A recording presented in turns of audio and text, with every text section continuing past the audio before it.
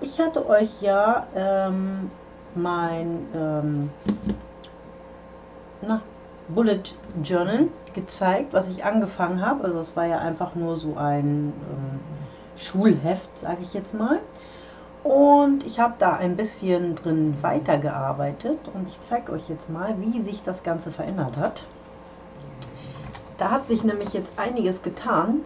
Und zwar habe ich erstmal das hässliche Cover ersetzt durch ähm, das, das Papier vom Action, dieses ähm, Aquarellpapier.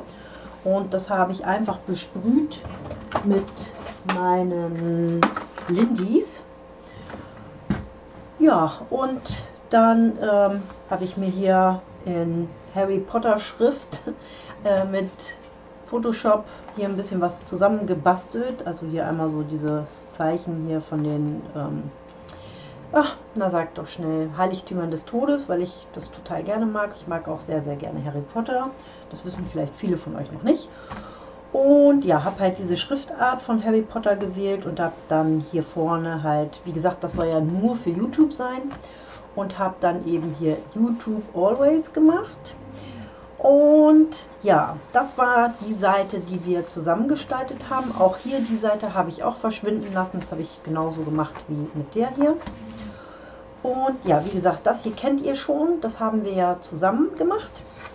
Und dann habe ich ein bisschen weiter gebastelt. Beziehungsweise ich habe tatsächlich das ganze Heft eigentlich schon voll gemacht. Aber es ist eben alles noch nicht ähm, entdekoriert wie diese Seite hier. Und zwar habe ich hier einmal ein Inhaltsverzeichnis und hier habe ich mir einmal aufgeschrieben, was so in meinem Büchlein hier alles so drin ist. Und zwar habe ich hier einmal die Legende, dann habe ich mir Ziele reingenommen, äh, den Kalender. Zu dem Kalender, wenn ich es euch zeige, da ist mir leider ein kleiner Fehler unterlaufen und äh, das erkläre ich dann aber. Dann habe ich mir eine Alohomora-Liste gemacht. Die habe ich so genannt, weil ich einfach das Wort Alohomora schön finde. Ähm, wer Harry Potter kennt, der weiß ja, dass das der Zauberspruch ist, um Türen zu öffnen. Und ähm, ja, ja, das hat jetzt nicht wirklich was mit Türen zu öffnen zu tun. Das wären ja eigentlich eher die Ziele. Aber ja, ich fand es trotzdem ganz witzig, deswegen habe ich mir das noch mit aufgenommen. Und was genau das ist, seht ihr dann. Dann habe ich mir einen Habit Tracker äh, mit reingemacht und was das ist, zeige ich euch dann auch noch. So, in der Legende habe ich mir theoretisch jetzt einmal ähm, so ein bisschen aufgeführt, wie ich äh, in diesem Buch quasi arbeiten möchte. Und zwar, wenn ich eine Aufgabe oder irgendeine Sache habe, die ich halt gerne machen möchte, dann äh, wird hier einfach nur so ein Kästchen sein und dahinter wird dann eben nicht Aufgabe, sondern eben das dementsprechende stehen, was ich eben machen möchte. Und ähm, wenn ich das Ganze angefangen habe, dann mache ich hier so einen Strich in dieses Kästchen, ähm, damit ich weiß, dass ich es begonnen habe. Mhm. Und wenn ich es dann erledigt habe, also wenn ich es zu Ende gearbeitet habe, dann werde ich es hier so abkreuzen und damit ist es dann erledigt. Ja, und wenn ich spezielle wichtige Termine habe, die werde ich mir mit einem Punkt kennzeichnen. Und so habe ich so einen kleinen Überblick, ähm, was ich eben wie kennzeichne. So, hier unten habe ich ein kleines Feld für meine Ziele mir reingemacht. Es soll ja eben, wie gesagt, nur für YouTube sein und ähm, ja, ich denke mal, so eine kleine Liste reicht dahin für ein Jahr. Ja, und dann geht es theoretisch schon los mit meinem Monat Januar. Und ihr seht, ich habe hier auch schon so ein bisschen dekoriert. Ich habe hier schon so ein bisschen Feuerwerk ähm, reingemacht. Ich fand, das passte ganz gut zu Silvester. Und dann konnte ich meinen neuen Stempel, den ich von China bekommen habe, austesten. Und so regenbogentechnisch habe ich das bekommen mit, äh, das zeige ich euch gerade mal, habt ihr wahrscheinlich schon gesehen in einem Haul.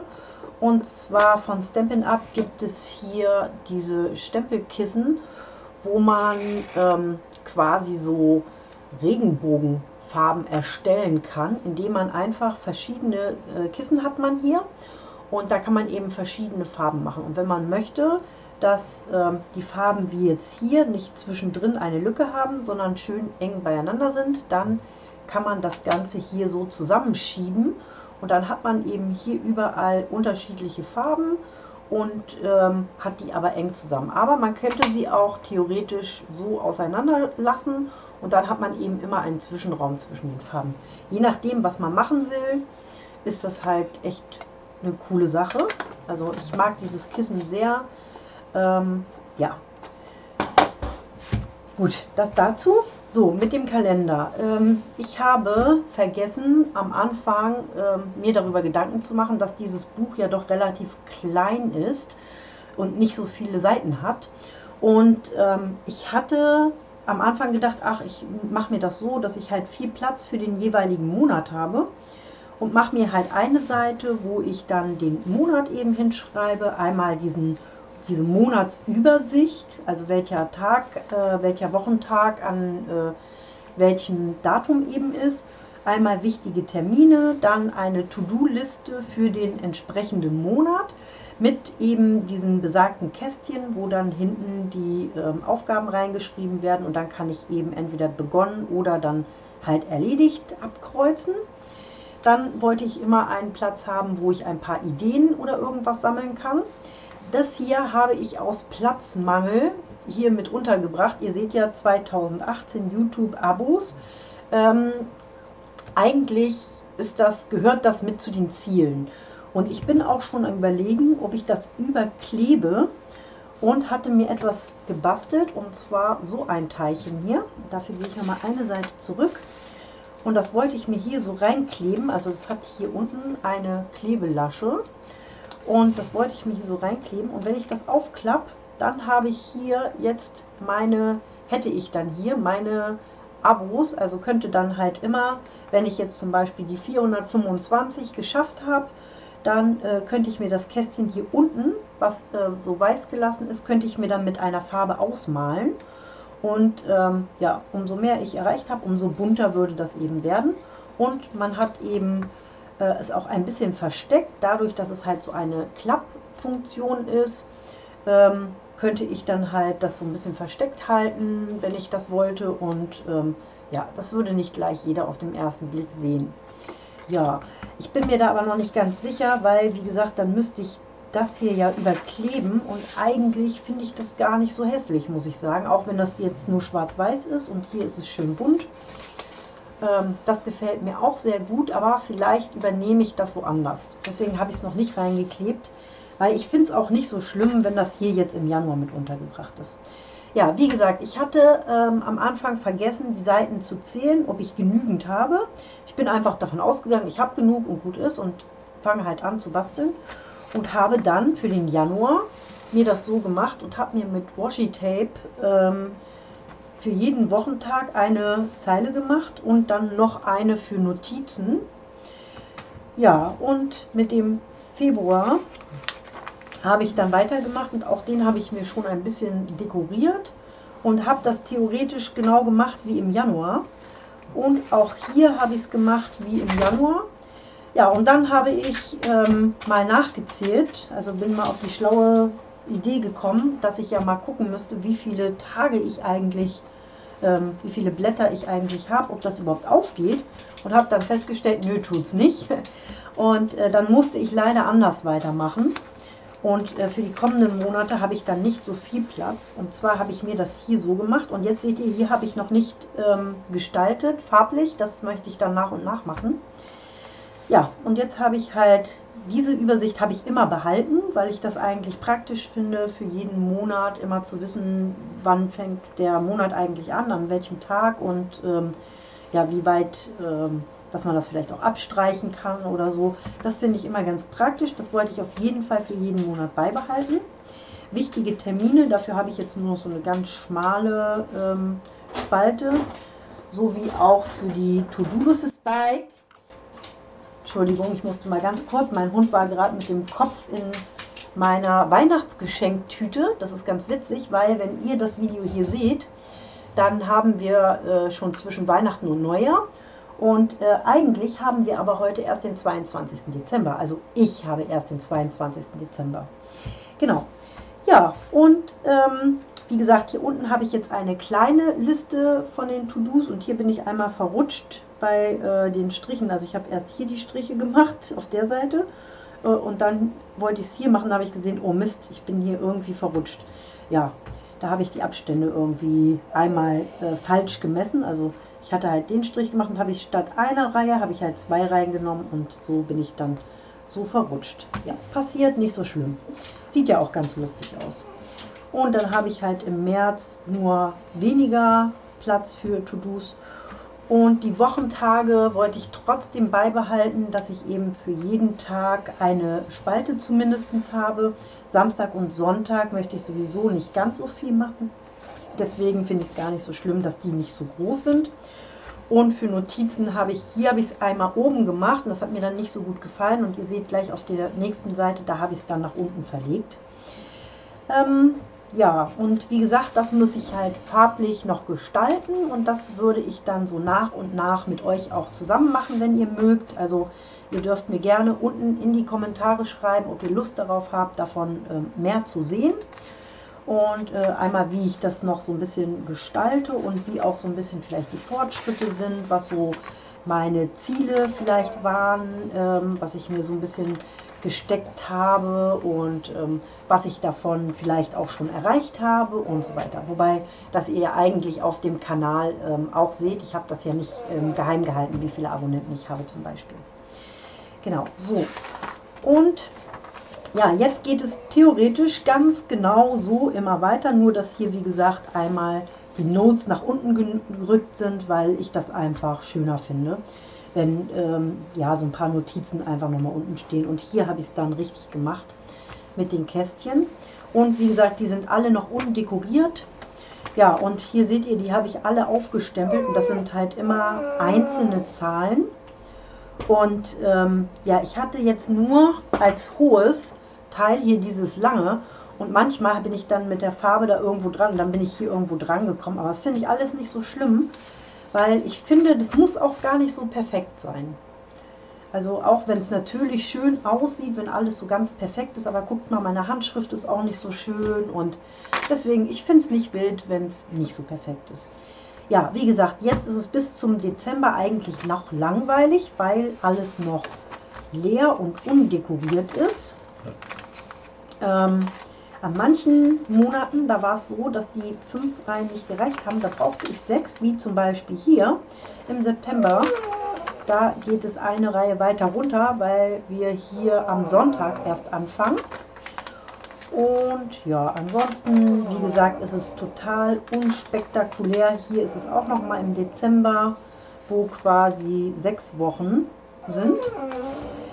Ja, und nach dem Dezember habt ihr ja schon vorne in meinem, äh, in, in meinem Inhalt gesehen, dass dann die Aloe-Mora-Liste kommt. Ja, und was ist das denn eigentlich, meine Liste? Ja, ganz einfach. Ich habe mir hier eine Liste angelegt. Einmal mit den Dingen, die ich brauche. Also sprich, äh, wenn jetzt zum Beispiel meine Kamera kaputt gehen würde. Und ich bräuchte eine neue Kamera. Ähm, alle Dinge, die für mich wichtig sind, um überhaupt YouTube-Videos machen zu können, wie zum Beispiel Licht oder ähm, bestimmte Materialien vielleicht auch, äh, wenn ihr euch zum Beispiel ein Video wünscht, was ihr gerne mal sehen wollt. Und ähm, wo ich sage, ja, da wäre ich jetzt selber vielleicht nicht drauf gekommen und das ist jetzt ähm, ein Material, was ich dafür brauche, um dieses Video machen zu können. War aber nicht mein persönlicher Wunsch, dann kommt es in diese Liste. Und wenn ich es mir einfach wünsche, zum Beispiel, keine Ahnung, irgendwelche Materialien, die ich total schön finde, die ich nicht unbedingt brauche, die ich aber ganz gerne hätte, die werde ich mir hier auflisten auf dieser Seite. Ja, und hier drüben seht ihr schon den Habit Tracker und äh, natürlich geht diese Rechnung hier nicht auf, also das sind keine 24 Stunden insgesamt. Und ich habe ja gesagt, dieses Heft soll rein um YouTube gehen und um YouTube machen zu können, ähm, brauche ich acht Stunden Schlaf. Also ich sollte ausgeschlafen sein, wobei ich ehrlich gesagt nur sechs Stunden Schlaf brauche. Das reicht mir völlig, also fünf bis sechs Stunden, dann bin ich eigentlich ausgeschlafen wobei acht Stunden natürlich gesundheitstechnisch eigentlich besser sind. Und ähm, also dieses, falls ihr so einen Tracker noch nicht gesehen habt und nicht wisst, wie es funktioniert, ähm, das ist jetzt so aufgebaut. Ich habe jetzt hier 31 ähm, Tage sozusagen genommen und habe mir hier vier Spalten ähm, eingerichtet, wo ich dann eben Sachen reingeschrieben habe, die ich eben so schaffen möchte. Und ich möchte hier einfach mal über einen Monat hinweg reflektieren, ob ich es gut schaffe. Ähm, ob ich damit jetzt gleich im Januar anfange oder nicht, das kann ich euch noch nicht genau sagen. Mal schauen. Ähm, auf jeden Fall möchte ich einen Monat lang mal reflektieren, ähm, wie ich es gut hinbekomme. Und da werde ich mir einen Monat aussuchen, der auch wirklich 31 Tage hat. Ich hätte jetzt auch hier die erste weglassen können. Dann wären es nur 30 Tage gewesen, aber ich fand das mit den 31 eigentlich ganz gut.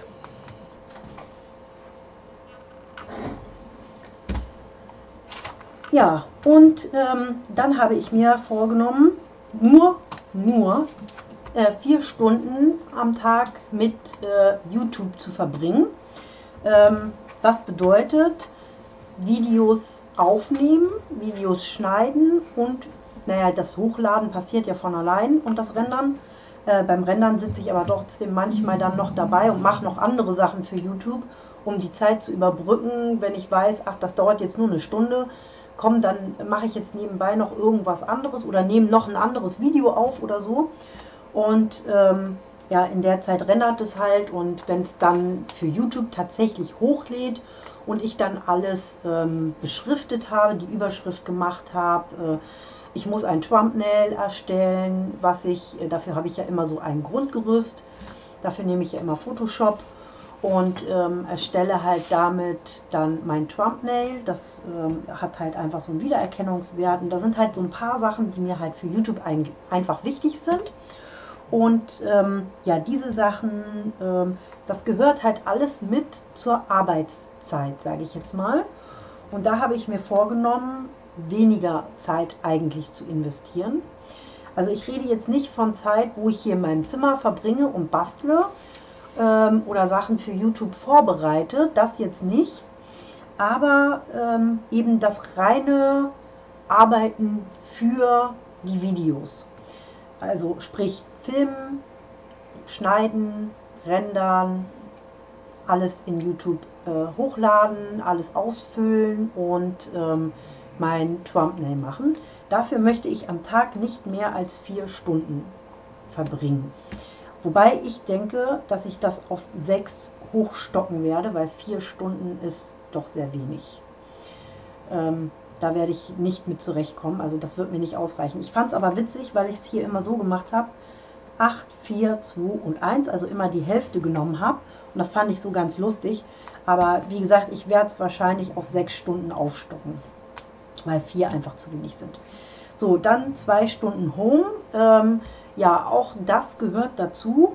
Ähm, um meine YouTube-Videos machen zu können, muss auch ringsrum alles ein bisschen passen. Das heißt, äh, mein Zimmer hier muss einigermaßen in Ordnung sein.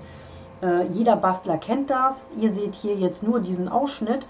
Ähm, wenn ich jetzt die Kamera einmal ähm, das ganze Bild zeigen würde, was die ganze Kamera zeigt, wie allein dieser Schreibtisch hier aussieht, ähm, was hier so auf dieser Seite, da alles noch äh, neben mir rumfliegt, ähm, ja, da verändere ich eben immer das Bild, damit eben dieses Chaos so ein bisschen verschwindet. Das machen wahrscheinlich viele YouTuber einfach auch aus Platzmangel. Und jeder kennt glaube ich, der viel bastelt, die äh, Bastelzimmer platzen aus allen Nähten. Du kannst noch so viele Regale, Schubladen, Kartons und was auch immer haben. Man hat einfach viel zu viele Sachen. Und umso mehr man hat, umso schwieriger ist es, Ordnung zu halten. Und genau darum geht es in diesen zwei Stunden, ähm, dass ich eben hier zwei Stunden am Tag, natürlich nicht jeden Tag zwei Stunden damit verbringen wir hier zu sortieren und aufzuräumen, aber zwei Stunden am Tag wenigstens damit verbringen, ähm, so, so ein bisschen wenigstens Grund drin zu behalten und eben auch mal auszusortieren und äh, mir auch Ideen zu machen. Oft hat man es ja auch so, man nimmt sich eine Kiste, sortiert aus und während man sortiert, äh, bekommt man Ideen, was man äh, als nächstes für ein Video machen will zum Beispiel. Ne? Also das äh, spielt so ein bisschen ineinander hier.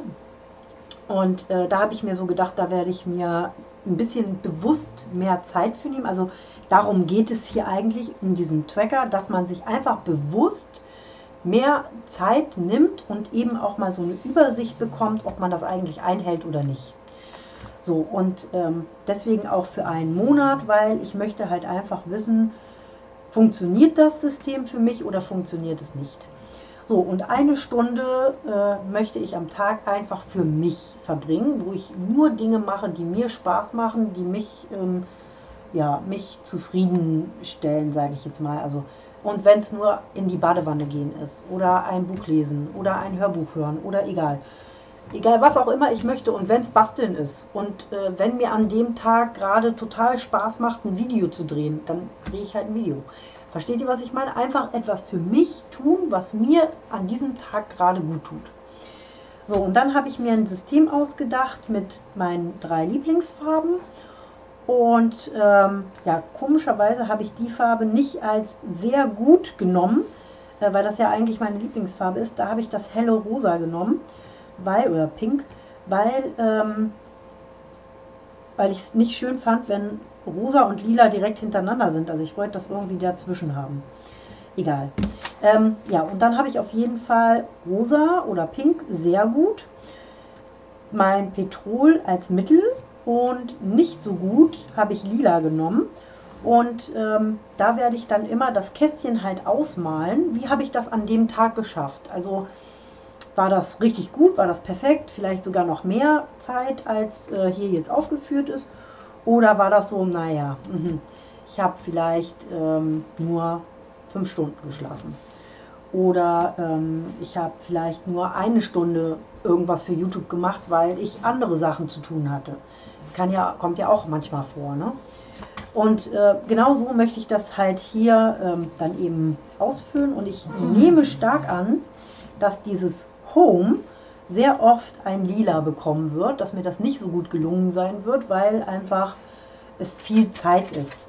Zwei Stunden am Tag damit zu verbringen, äh, aufzuräumen, also in einem Raum, sage ich jetzt mal, auszusortieren oder ähm, ja, aufzuräumen. Wenn man das jeden Tag macht, so riesig ist das Zimmer oder sind die zwei Zimmer. Ihr habt es ja gesehen vielleicht in meinem ähm, Video, wo ich meine Roomtour gemacht habe so riesig sind die Zimmer jetzt auch nicht, dass man da wirklich jeden Tag zwei Stunden mit verbringt. Deswegen gehe ich davon aus, dass ich hier ziemlich oft das Lila haben werde. Äh, hier werde ich wahrscheinlich sehr oft Petrol haben, weil wie gesagt, mir reichen eigentlich sechs Stunden. Und ihr hört ja meinen Hund mal wieder im Hintergrund.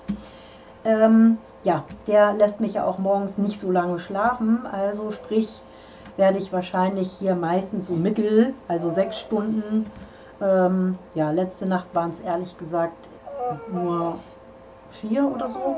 Es war dann doch noch ein bisschen mehr. Ich habe dann äh, nochmal geschlafen, nachdem äh, ich meinen Hund rausgelassen und gefüttert hatte.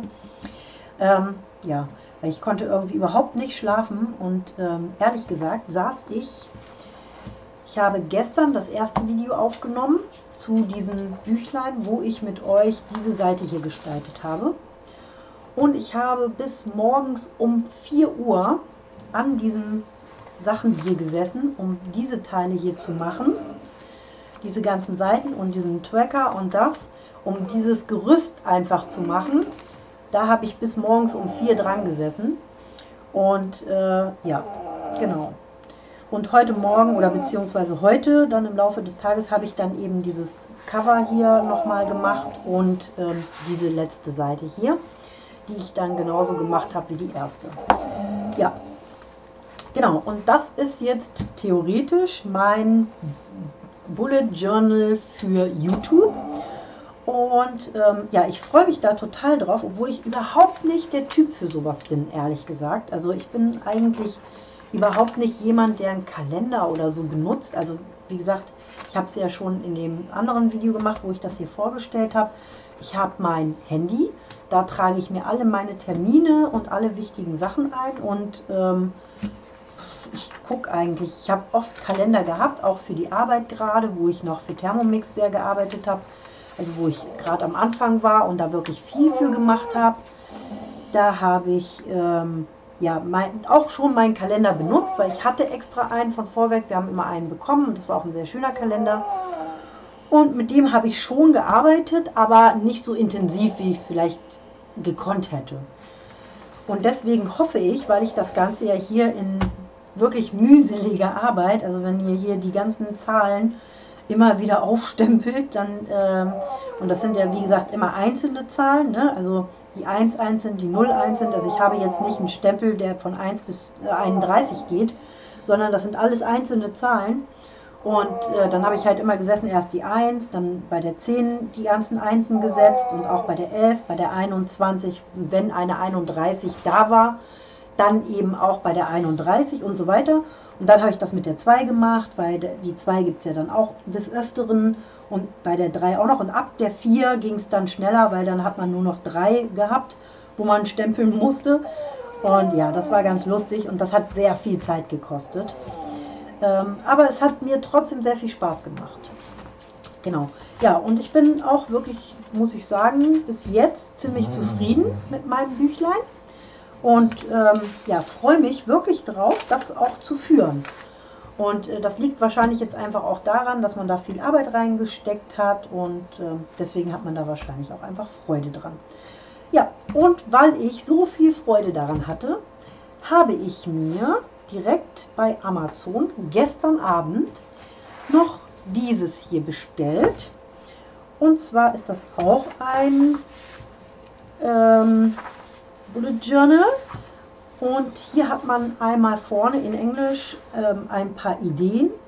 Und hier hat man auch ein paar Ideen zu Banner und äh, Doodles, die man noch mit unterbringen kann. Und dann sieht jede Seite aus wie diese beiden Seiten hier, dass man hier einfach solche Pünktchen hat. Ja, und mit den Punkten kann man super gut, hat man halt so eine Orientierung, dass man halt gerade Striche und so hinbekommt, wobei ich das schon nicht gut kann, hier solche Punkte miteinander verbinden. Also alles, was mit Malen und Zeichnen zu tun hat, ist einfach nicht meins. Aber dafür habe ich dann mein Lineal und mein Geodreieck und dann passt das schon. Und ähm, ja, für kreisrunde Sachen, dann nehme ich dann eben einen Zirkel und dann ist auch gut. Ja, und dieses hier möchte ich gerne für mich privat nutzen. Und das hat auch sehr, sehr viel mehr Seiten. Und natürlich wird das hier auch eine Spalte YouTube bekommen, ähm, aber eben nicht so intensiv, weil ich ja ein extra Journal nur für ähm, YouTube habe. Dann brauche ich ja nicht unbedingt nochmal ähm, hier so viel YouTube unterzubringen, sondern das wird eher ein privates. Und äh, ja, wenn ihr Lust habt, dann dürft ihr mich auch hier gerne mit der Gestaltung begleiten. Ich nehme euch gerne mit, ist kein Problem. Und ähm, ich zeige euch auch gerne mal äh, so einen Rückblick, ähm, was ich so gemacht habe. Und das wäre für mich auch nochmal so ein Ansporn, auch so ein bisschen dran zu bleiben an der Geschichte. Und dann werde ich mal probieren, ein Jahr lang ähm, mit Hilfe solcher Journals bewusster zu leben. Ich glaube, dass das wirklich hilfreich sein kann, wenn man es wirklich benutzt. Okay, ihr Lieben, und ihr hört im Hintergrund, und deswegen habe ich übrigens das auch nicht ver ganz verworfen, weil ich finde, dass, wenn ich eine Seite für YouTube mache und das hier als zusätzliche Ziele hier nochmal reinmache, und hier seht ihr, hier gehe ich nicht bis 600, sondern bis 800, ähm, finde ich, dass das nochmal eine schöne Sache ist. Wenn das einfach nur ein oder zwei Seiten YouTube sind, finde ich das super, das dann hier in mein Privates noch mit hineinzubringen. Deswegen habe ich es auch nicht weggeworfen. Genau, und die Zahlen hier, die hatte ich mir ja auch aufgehoben von äh, unserer gemeinsam gestalteten Seite hier. Ja, und ich denke mir, ich werde das so ähnlich dann ähm, hier auch nochmal machen, dass ich auch hier mir dann nochmal oh. etwas machen werde. Wobei ich glaube, also es fühlt sich hier sehr schön samtig an und eigentlich ist das auch ganz schön von den Farben her. Ich mag aber Blumen nicht so. Deswegen bin ich noch am überlegen, ob ich das wie hier mache und äh, ein Papier aufklebe und mir selber ein äh, Cover quasi gestalte und dann eben dafür wieder die Zeilen benutze. Weil, ehrlich gesagt, also diese beiden Seiten hier, die sind echt verschwendet irgendwo. Ne? Ähm, vielleicht mache ich es auch hier, dass ich hier was drüber klebe und weil, guck mal, ich muss jetzt jedes Mal die beiden Seiten erstmal umblättern, um wirklich in meinem Journal anzukommen. Das finde ich ein bisschen ungünstig. Also es wäre schön gewesen, die Sachen entweder nach ganz hinten zu packen oder einfach wegzulassen. Also es ist immer schön, so ein bisschen so Ideen zu haben, was man machen kann. Ähm, ja, aber braucht man es wirklich? Ich glaube nicht. Also es gibt mittlerweile so viele Sachen dazu im Internet, äh, bei YouTube zum Beispiel. Also ich habe mir ganz viele Ideen und Anregungen bei anderen YouTubern geholt, die ich hier auch übernehmen möchte. Und ich finde auch diese Idee mit dem Harry Potter-Style gar nicht so schlecht. Da ich aber nicht zeichnen kann, äh, bin ich halt immer darauf angewiesen, mir dann Sachen aus dem Internet zu suchen, die ich dann eben selber abzeichne oder ähm, ja und dann übertrage oder halt irgendwie anders ähm, ja, mir dann halt lizenzfreie Bilder zu besorgen oder so. Da muss ich halt mal gucken. Das weiß ich noch nicht genau. Ich habe auch schon überlegt, ob ich die beiden Seiten hier einfach zusammenklebe. Weil dann brauche ich wenigstens nur eine Seite umblättern, bis ich in meinem Heft angekommen bin. Oder ich könnte die beiden zusammenkleben und das hier noch dran kleben, weil ich glaube nicht, dass ich hier reinschreiben werde, wem das Buch gehört. Ähm, das Buch benutze ich hier für mich zu Hause. Vielleicht nehme ich das auch mal mit, wenn ich irgendwo hinfahre, aber ich glaube nicht, dass ich das, ähm, ja, dass ich das unbedingt so ausfüllen muss. Also ich glaube, mir würde es so reichen, wenn ich hier vielleicht eine ganz leere Seite, komplett leere hätte und dann halt hier losgeht. Oder ich weiß noch nicht genau, wie ich es mache, aber auf jeden Fall werde ich jetzt die Tage damit starten. Und ja, hier habe ich ein bisschen mehr Seiten. Also da muss ich aufpassen, dass ich mir dann wirklich ein Zeitlimit setze, weil es ist wirklich so, wenn man erstmal anfängt, sowas zu gestalten, man kann nicht mehr aufhören. Das war echt krass. Also es hat mir gestern keine Ruhe gelassen, bis ich zumindest mit diesem Gerüst hier noch fertig war. Also ich habe dann heute natürlich noch ein paar äh, Sachen noch zusätzlich ähm, gemacht, aber ja, es hat mir keine Ruhe gelassen. Ich musste unbedingt ähm, den größten Teil schon mal fertig haben. Ganz witzig. Wenn man eigentlich nicht so ein Typ ist, ne? finde ich das total lustig. Na gut, okay ihr Lieben, genug gequasselt. Ähm, ich hoffe, euch hat der Hund nicht zu dolle gestört. Ähm, das gehört leider bei mir immer ein bisschen dazu, dass der ähm, rumquakt. Der liebt nun mal hier und ähm, das kann ich halt einfach nicht ändern. Okay, ihr Süßen, dann ähm, sage ich erstmal Tschüss und ich hoffe, ihr schreibt mir fleißig unten in die Kommentare, ob ihr Bock auf sowas habt oder nicht. Okidoki, dann bis zum nächsten Mal.